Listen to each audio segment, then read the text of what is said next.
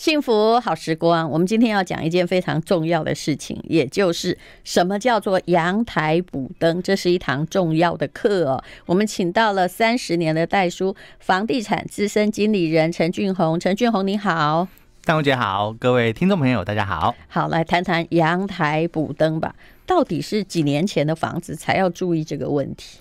呃，基本上哦，阳台补灯的部分呢，主要会发生在就是呃民国七十一年以前，好，因为主要是因为那个我们的建筑法规呢，呃，在民国七十一年以前呢，呃是不能登记阳台的，嗯，好，那我们讲的比较白话一点，就是说啊，如果这个时候呢阳台登记了，然后呃第一个说阳台不能登记嘛，那建设公司它登记的也不能卖。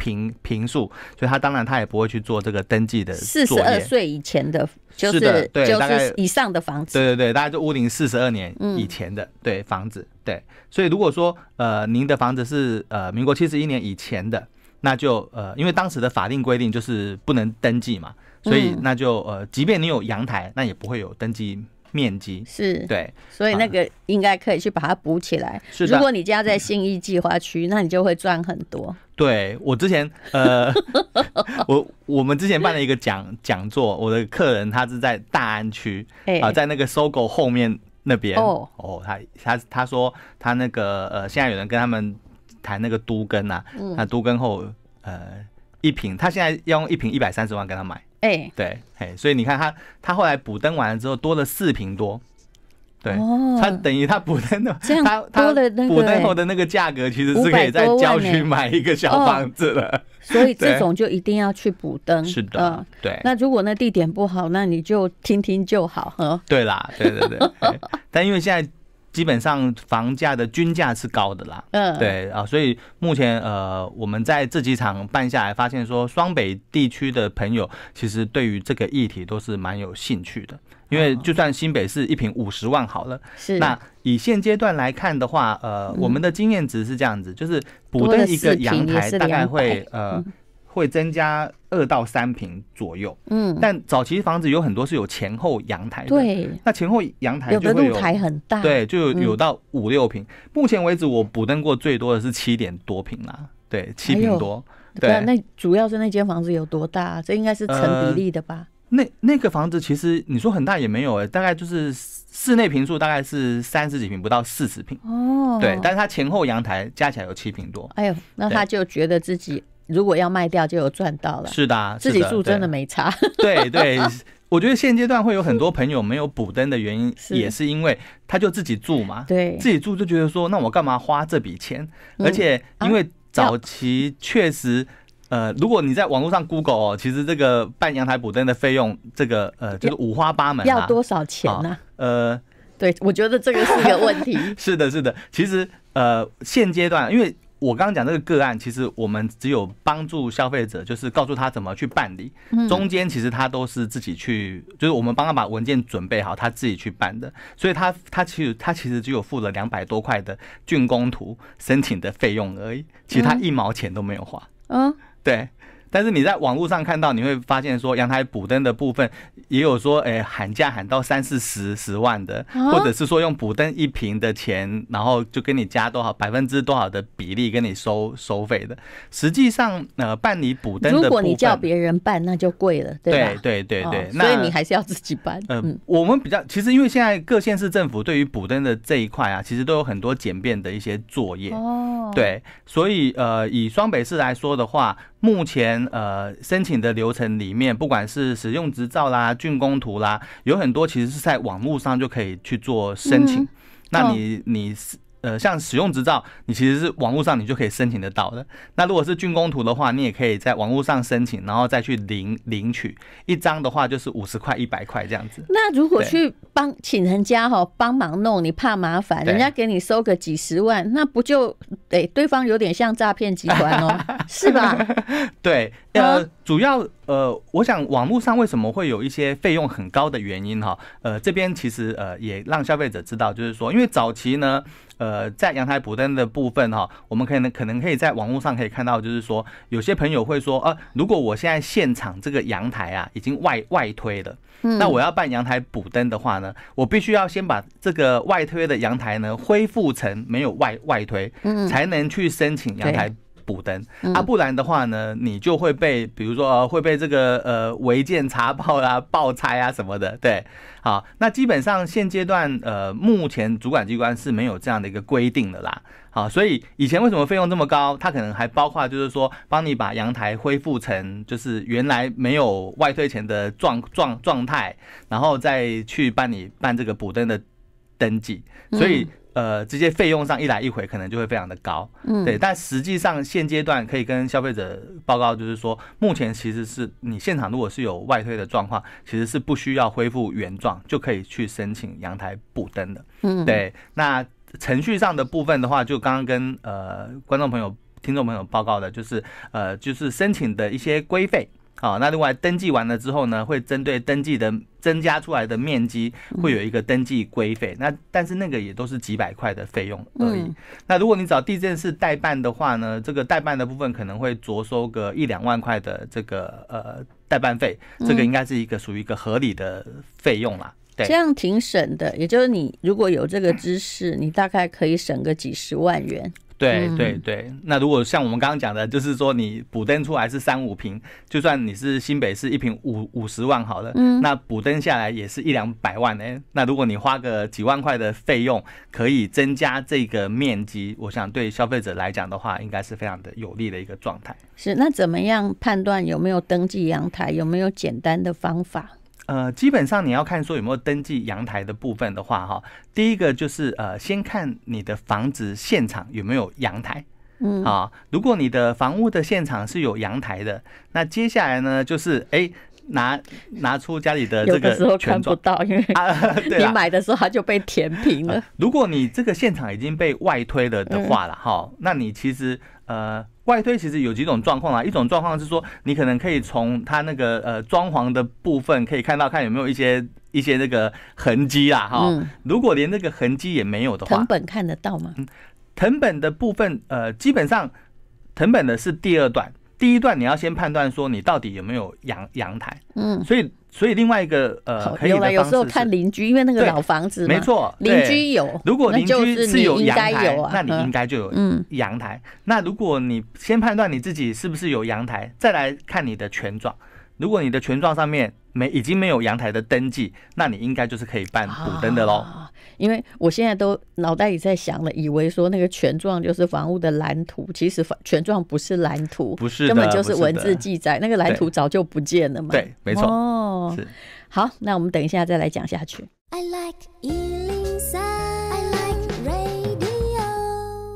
这一刻很重要，搞不好会为为你家哈增加个几十万到几百万，而且其实如果你懂的话，所办理的费用哦，大概就只有那一两万块哦，甚至如果你自己还能够呃，就是把它弄好的话，几百块也可以做得到。是的，好，我们今天请到的是房地产的资深经理人，做了三十年代书的陈俊宏。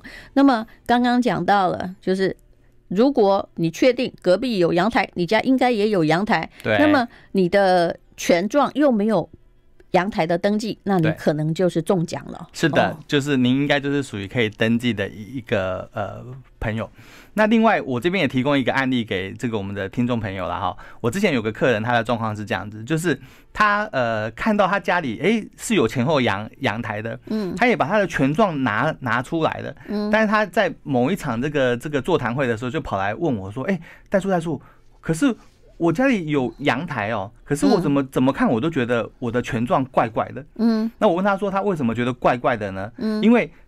因为我们在讲座上有提到说，哎，一个阳台大概会有呃这个二到三平的这个面积，嗯，对，但他家里有前后阳台哦，可是他登记的面积呢只有登记两平多，所以呢，后来那个案件的状状况呢是，他其实呢，他是一开始他就是有前后阳台，但是他中间呃中间他呃前几手在买卖的时候，他们曾经去做阳台。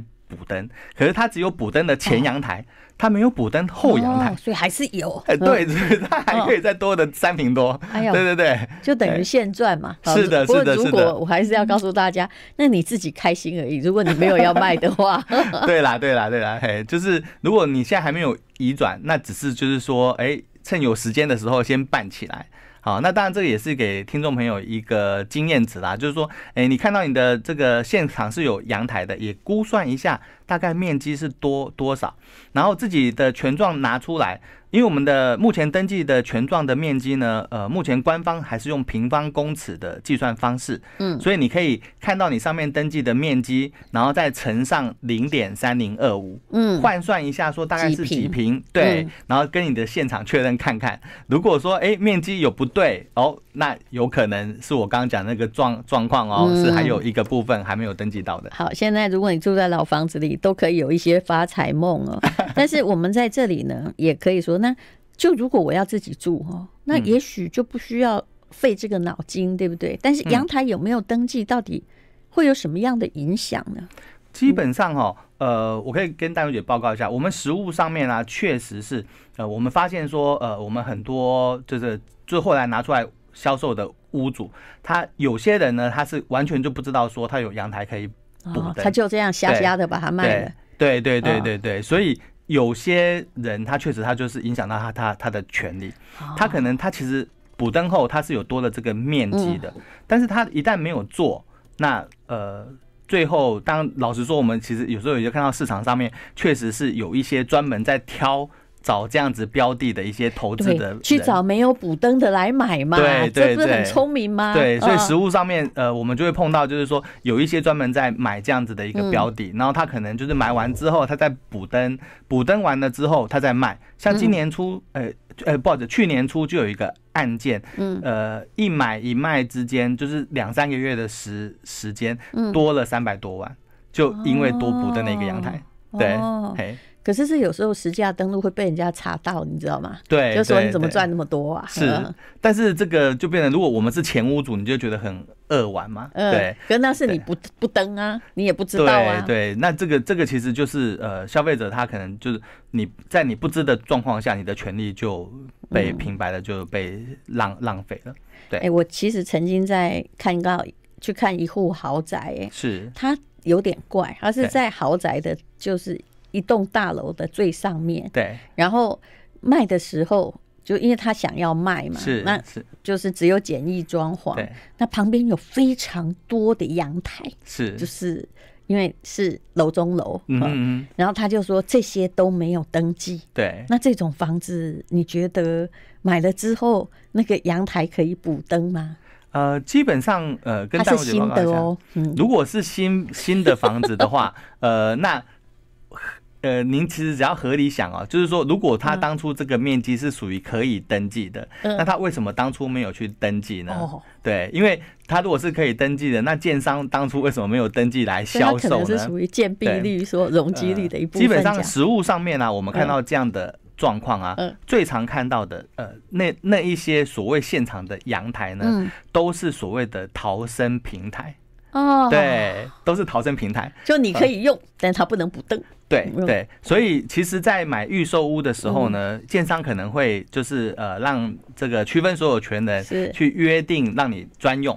对，啊但是一旦有这个逃生的需要的时候呢，嗯你是必须要开放给其他人做逃生用的。原来是这样，哎你真的了不起，连这个你都懂哈。但这个个部分可能消费者如果想要确定说，因为通常这这些面积呢，它是不会在我们的，因为它不能登登记嘛，所以它不会在我们的权状跟我们的地震事务所的成果图看得到。嗯所以消费者如果要确定说它到底是不是我刚刚所谓的逃生平台，或者它是所谓的因为呃因为建筑线的关系，所以建筑内缩所产生的露台，那。这个部分，消费者他可以透过申请竣工图的部分哦来看，说，哎，它到底是属于哪一种喽？所以有的你真的不用高兴，大概七十一年之后，你的那些阳台很可能就是逃生平台，对没有错你也不能够补灯啊。对对对。可你刚刚提到的那个约定专用哦，对就是老房子也会有这样的问题，比如说公寓里面一楼，它外面不是有它自己的停车场嘛，嗯对对对那它都把它圈起来，对不对？对对可是其实你只要去看那个藤本还是什么，常常都是约定专用，对。他没有所有权的哦。呃是的，但是上面的也不能说，哎、你现在把那个围墙撤掉，对。是不是？呃，约定专用的部分啊，我我我我给听众朋友一个概念，就是说，嗯。呃，所谓约定的约定专用的部分，它有可能是区分所有权人之间的协议，哎、对。但是约定专用它最讨厌的地方就是，约定专用其实在现阶段的法令上面，它其实只绑所有当初签订约定专用的人。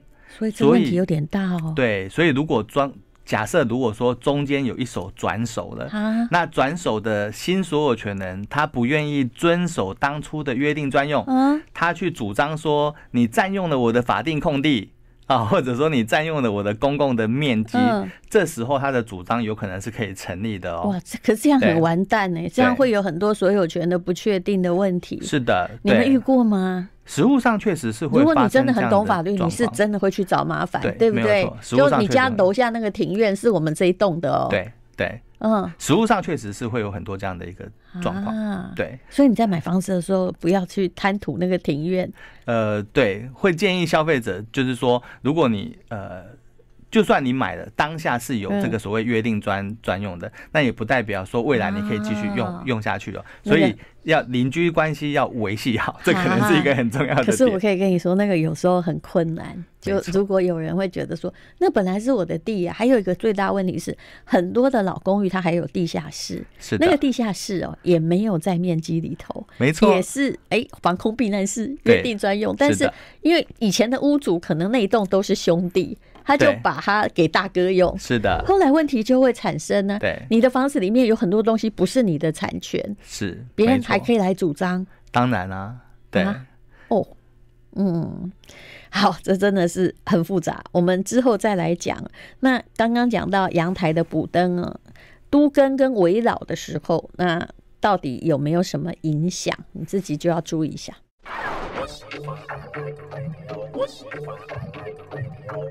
今天我们请到的是三十年代书经验房地产资深经理人陈俊宏。那么讲到了违建哦，不围老的改建哦，还有这个都更呢，那阳台的补灯是真的可以帮我们，如果成功了，就可以增加价值嘛？呃，实物上面啦哈，确实我们在讲改建的时候哦，大部分看的其实都是土地的平数啦，嗯，好，但是呃，我们也实物上面也会，对，哦，不是房屋 对大部分都是可是我们讲一平换一平都讲房屋、哦，没有错，但是嗯对对对，戴茹姐讲那个重点，但是很多人讲说一平换一平都是讲房屋嘛，对不对？嗯所以其实我在讲座上面就有碰到有消费者就是来告诉我说，呃，确实他的状况就。就是他发现说，哎、他们楼上的邻居谈到的平数比他家还要大，明明一样明。明我们的面积就一样大，那对为什么别人谈到的面积比较多呢？这还要来问你吗？就是这一定要自己悟到是阳台没补灯啊。对，它其实就是阳台没没补灯。可是对，哦，它一平换一平是指室内的，是可是你刚刚说，事实上建商判断的就是是以土地拥有的土地平数。像我们家的老房子，我就很清楚，就说哦，我们家大概是二十八平，对不对？对然后实际土地平数有十三嘛。是嗯是嗯，所以这个这个也是为什么我们会发现说，有一些早期的一些呃地主合建的案件，嗯。你会发现说，你们社区的法定空地呢，哎，区分所有权人都没有这个土地法定空地的那块地的面积，所有的面积都掌握在那些地主户的身上，主要也都是哦因为他们认为说，未来如果有机会在合建的时候，嗯。他们可以分到比较多的面积，哦，对，实物上面是不过。我们在乡下也遇过这样的对。状况，比如说，呃，我有一个这个长辈，他的房子卖掉了，是。他发现哦，他卖掉，他要得到地主同意，因为前面那条路并没有并没有所有权。对，那个路是老地主户的，你知道吗？对对所以他一定要签名。那你要叫人家签字，就要给人家嗯钱、就要啊一些费用那，个是路的问题，那个对更严重。没有错。嗯对，实物上面确实是呃有有实物上这样的状况，嗯，应该说呃，在呃都市区以外的部分，其实有很多淡如姐提的这样的问题，没有没有错，就发现你家房子不能卖。对，如果你跟他关系搞不好，你就更卖不出去。他把它围起来，你根本就是没有通行的一个地方。是，他可以围起来吗？法律规定的部分，此路是我开。法呃，应该是说法律规定的部分，其实是应该是步步行啦。对，好，因为他还是要维持，就是可以正常通通行的。是啊。部分，嗯，你顶多只能要求就是通过的，你要需要付使用者付费的一个概念嘛？你要通过我的地啊，留下那个过 过路费啊，这样一个概念，其实是呃法法律上面的规定，其实是这样子。哦，在在我们的故乡，N 年前也有一个。啊，现在已经不在的民意代表，他就把某个风景区的唯一那个道路啊，就他把它买下来，他就把它封起来。然后你知道他做了什么吗？他就是，那你要进来这个风景区，我就对你就要付门票费。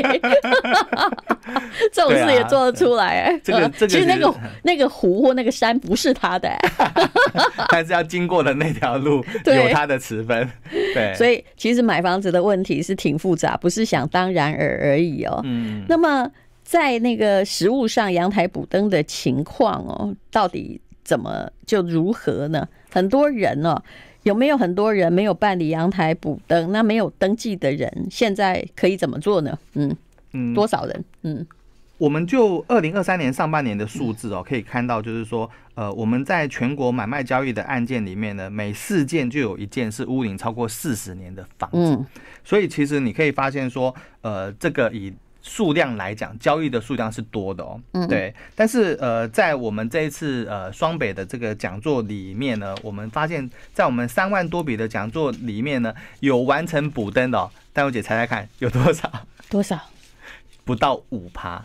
哎呦，真的很少，嗯，真的很少。那呃，大概现场有跟就是来参加这些讲座的朋友们了解一下，大概有百分之九十五的可能性 还可以发财。对，但是呃，就像淡如姐提的嘛，就是如果我自己住，那我当然我我就不会想到说我现在要去办。补灯，对对，然后再加上，如果说我我对于补灯的这个知识不是很了解，我以为说我补灯啊，我因为我现在有外推，所以我不能补补灯，或者说哦，我补灯可能要花个三四十万，对，那我就想想看，哎，我这个补灯到底可以多几瓶，我也不确定啊，对不对？好，那这就是那些人没有去补的原因。对，这些其实就是没有去补的原因。我实物上还有碰到一个状况，就是我们的客人呢，他呃，就是呃。有碰到，就他委托房子给我们的这个房东来来卖。那在委托的时候呢，我们就告诉他说：“哎，你这个房子可以补灯哦，那你要不要现在就是我们帮你准备资料，你来补灯一下？”对，我们的屋主直接跟我们说：“呃，不用啊，你就反正我的价格呢，就是要以补灯后的价格卖，但是呢，补灯的部分呢，叫买房子的人自己去去办。”补灯叫买房子自己去办是可能的，但用补灯的价格卖，你真的想得美，对不对？但是我会有一个折中方式，如果是我的话，我就会写说阳台未补灯，那也许会比原来多卖个一些啦。要卖到那个实际价格不可能。对对，确实，其实就是戴荣姐提的，就是说。基本上屋主有屋主的想法，买方也有买方的想想法嘛。因为买方也会担心说，哎，那我到底是是不是真的可以补补补灯呢？对不对？好，即便就是说，呃，我看到我的楼上可能他们已经有补灯后的面积了，嗯，哦，那但是我还是会不确定嘛，嗯，对，好，那这个其实实物上面其实是有很多这样的状状况。对，有些卖房子的人真的很天真，你有没有觉得？真的啊，因为他都其实买卖这件事情，就是你一定要站在消费者的角度思考。可是你永远都只在想自己的利润。对。哦，那这生意就很难谈成了。对，所以像这一块，我们其实还是会引导屋主，就是说，因为告诉把这个实际的状况告诉他，然后也把这个费用的部分跟他做一个说明，然后建议他呢，呃，去办理这个补灯。好，我们等一下再来谈一下。那其实补灯很简单呐，哈，步骤跟你讲一讲就知道。你也可以只花几百块钱哦，那到底要怎么做呢？待会儿告诉你。I like 幸福好时光，我们现在呢就请这三十年代书经验的陈俊宏来告诉我们，那补灯哦，来一二三四五，嗯，好，呃，办理补灯的步骤啊，五个。步骤啊，真的没有很困难哈。就像戴茹姐刚刚提到，第一个当然我们就要先确定一下，说我到底有没有阳台可以补灯嘛。嗯，那我们在前面的节目。里面有提到的，就是说，呃，如果你现场是有阳台，那我们看到我们的权状啊，或者是呃，我们去找这个登记簿成本，确定说我没有这个阳台的面积的登记，好，那我应该就是属于可以。补登的，嗯，那接下来呢，就是准备自己的身份证跟建物权状，先申请这个呃竣工图跟使用执照。那申请竣工图跟使用执照，其实就是刚刚淡如姐提到的所谓的蓝图啦。好，因为我们一开始在盖房子的时候，真的都有吗？呃，那么久啦。对，这个其实实物上面有一个问题，就是说，呃，确实我们有碰到，就是有些朋友他后来去申请的时候，发现主管机关那边没有这些东西了。那如果没有这些东西，呃，假设如果是原图都没有了，那那可能就是变成说你没有办法证明你当初那我可以测量吗？呃，基本上如果你有原图的案件的话，是可以就是申请，就是现在的建筑师来做呃现场的。测量，然后做一个附附图的一个作业，但如果你连原图都没有的话，他是不接受，就是你现在量一个新的给他。那你那四十几年前，这建筑师应该都 out 了吧？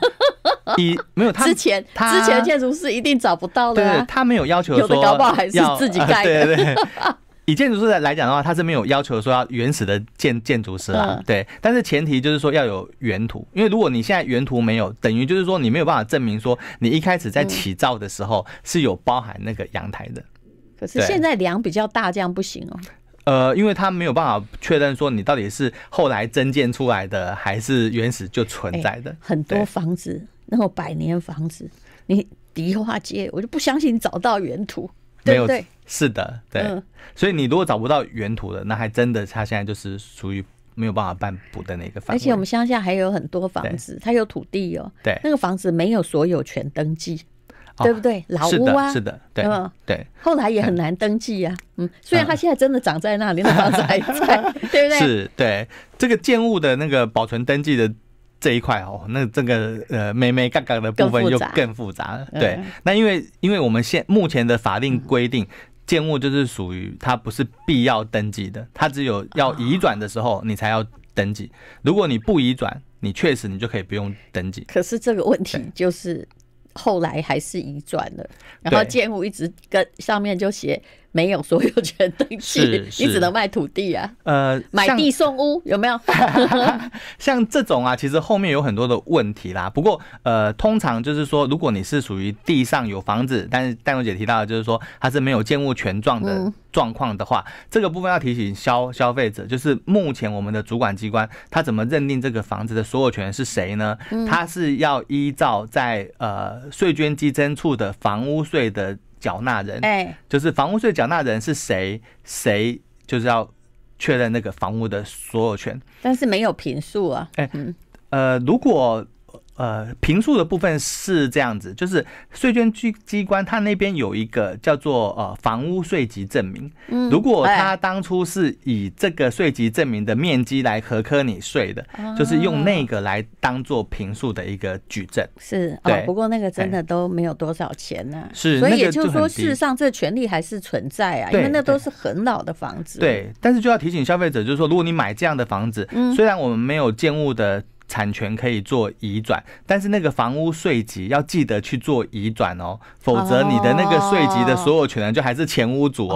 哦，那这样就很麻烦。对，税务机关会认为这个房子还是前屋主的所有哦，这样就变成他是你永远的地上权人，是对不对？其实实物上面我们看到很多哦。呃，买卖的部分，呃，如果有碰有透过地震室啦，通常地震室其实会提醒我们碰到最多的，其实都是继承移转的时候，很多人呢，他在继承的时候，因为这个地上建物都是免税了嘛，对，所以他根本就没有去办这个税籍移转，所以我们常常看到就是说，我们很多要去办税籍移转的时候，这个房子呢，可能都还是阿公啊，甚至是阿祖啊，更 更早之前不在了，不会来主张的是他的。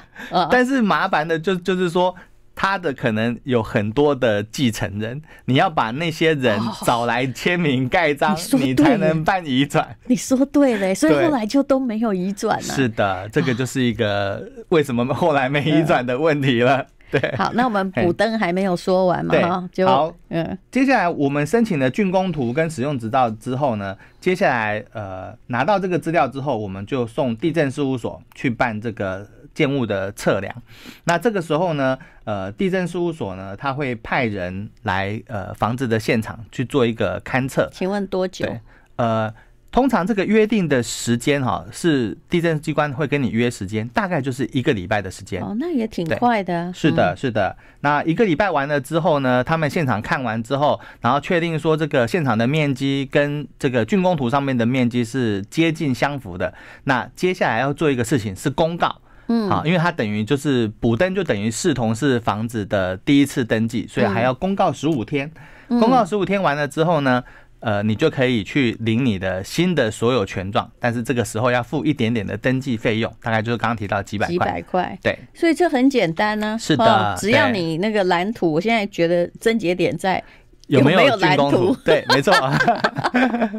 嘿好，那就祝大家哈，有百分之九十五趴的人哈，有只在新北市哦，就有对这么多人没有登记。那也许现在其实台中、高雄的房子也不算不值钱，尤其是是在金华区，你就可以去登记一下。不过登记了之后，可能也还有别的问题，也就是你的房屋税会变得高一点，是这个意思吧？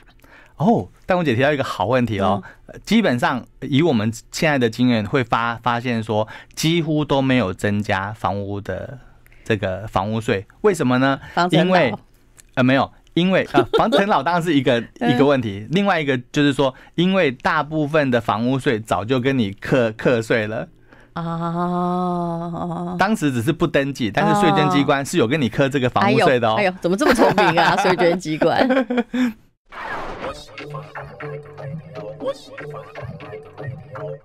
幸福好时光，其实房价的问题啊，只要你不要就是一直在看房价哦，房子本身的问题，说真的很繁琐，但是也挺有趣的。我们今天请到了三十年代书经验的陈俊宏，那你最近还有没有遇到什么样的 case，就是可以跟我们大家分享的有关房子？嗯，呃，房子的部分的话，呃，最近当然呃，我们先把刚刚那个阳台补灯的部分，我还有一个部分想要提醒，嗯。就是我们的朋友，就是说以阳台补灯的部分啊，现阶段如果你是二楼以上的部分，就是照我们刚刚讲那个程序就可以做补灯了，但大部分的一楼会多了一些程序，啊，因为第一个是一楼的按键啊，呃嗯，如果你当初你的阳台的面积呢，在起造的时候已经把那个阳台的面积就是列入这个所谓的呃建蔽率跟容积率排除的状况下，那那个部分是不能补灯的。所以一楼你现在能补灯的状况比较少。一楼会相对比较少，嗯对，所以一楼的朋友不是不能补，但是一楼的朋友可能就是要额外去申请，请主管机关确认说你可以补灯的面积有多少。对不过一楼常常遇到的就是我们刚刚讲的约定专用的问题啊，那个真的不能登，而且你如果一旦哈 告诉住户这是约定专用，哇，新来的人还是会找你麻烦的。是啦，是啦，嗯对，那只是说，因为通常呃，实物上面当然一楼的价值又更更高嘛，相对二三楼又更更高，嗯所以很多一楼的朋友会问说，哎，为什么我们在网络上面看到这个补灯都是二楼以上的，嗯那一楼的部分好像就都不能登？那实际上其实是一楼的部分也是可以登的，法律上它其实并没有规定是不行，只是说如果你当初这个面积就已经是。呃，被算进是法定空地的面面积了，那当然它就不能让你双重的获获利嘛。你又算法定空地，你又要跟我补的面嗯面积，这样当然它就是不允许的。那另外还有一个部分也要提醒我们的就是听众朋友的，就是目前我们的县市政府呢，它都有一个呃，以双北市来讲，他们其实都有一个所谓的贴心的一个。民众的服务，就假设如果说你二楼以上的住户有一户呢是有去办补灯，嗯。举例来讲，比如说呃三楼的人有去办补灯，那我是五楼的房子的话呢，那搭便车，地震机关的人呢会通知二楼、四楼跟五楼的人说，哎，三楼的人有来补灯哦，你要不要来补灯啊？人真好。如果你愿意的话，你就可以直接带着那份公文，嗯。直接去地震机关申请，哦。就可以省去了刚刚说要调竣工图的这个部分，因为别人有调过了。的意思是的，是的，因为你同一栋楼的人已经哎有调过了。那那些都跟的啊，他就不用再跟你讲说，哎呀，我楼上这个平数比我多，他卖价比我高，明明是一样，他就只要去比照办理就好了呀。呃，跟大小姐报告一下，为什么实物上面呢？这些人会有这个问题哈？呃，大家想想看，因为通常我们在买房子的时候啊，我在地震机关留的资料都不是我房子现场的资料，我留的资料应该是我当初买房子的时候的那个通讯的地址。嗯，那我有可能就是没有收到那个地震机关的通知，哦。对，嘿，就是因为他通知那的怎么查，呢？呃，你应该有一个网说哪里几号几号做了补灯，这样我们就去看说呃是否我这栋楼也有啊。嗯那呃，我觉得大卫姐这个提的很很好哎、对其实其实啊帮税，务机关找点麻烦。其实我们一开始在讲这个讲座的时候，确实我们当时有有一个发想，就是说，那为什么主管机关他不他就是通知所有的人都来补灯就好了对，他就有一个像实价登录可以查就好了。对，但偷偷的告诉你，其实哎我们去问了那个地震机关的那个那个承办人员，嗯他跟我们说，那这样子，如果他现在才通知，那前一手的人可能就会来问他说，你当时为什么没有通通知我啊？你害我损失了三三瓶，那这三瓶的钱我要申请国赔。哎，说说说的好像有道理。有有没有？哎他们的顾虑，好像有他们的很考量点对不对 对因为有些人就是这样嘛，没有 错他就是要溯及 既往，对不对？是的，是的。嗯所以目前的状况是是是这样。嗯，嗯，对，好，所以也是听提醒我们的听众朋友，就是如果你有收到这个通知，你现在有收到通知，那就代表说你这一栋楼有人去申请了，那你赶快就可以提的这个东西去做申申申请。你这个让我想到哈，就是我们公司的人就遇到有人这个两年前买的枕头，他要来退货。两年对，前，他就用了两年，这叫溯及既往。现在这个要经营一个对公司真的很不容易。但是后来我就算了，也退给他，你知道为什么？嗯因为我们那员工非常想得开，他说是哈，与其我跟他耗费人生的机会成本，再跟他讲大道理，我不如把钱给他算了。算了算了，对不对对，对没有错，确实是这样哎、子。真哦，过去的事情哦，不要一直找啊。但是我也希望所有的法律是这样的，不管你怎么理，你不要溯及既往嘛。嗯对这样我们很尴尬哎、是的是不是？没错好，今天我们就讲到这里，非常谢谢陈俊宏，谢谢，谢谢丹友姐。请继续收听王瑞瑶的《超级美食家》。